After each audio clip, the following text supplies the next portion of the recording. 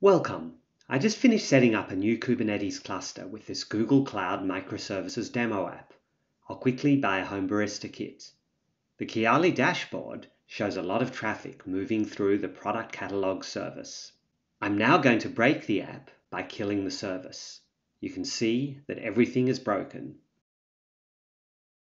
Let's see what Zebrium's machine learning picked up. An incident was detected with the description the pod was deleted.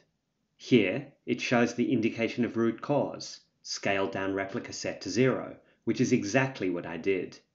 This is the worst symptom, container not running. Drilling down shows more detail, including anomalous metrics that correlate with the problem.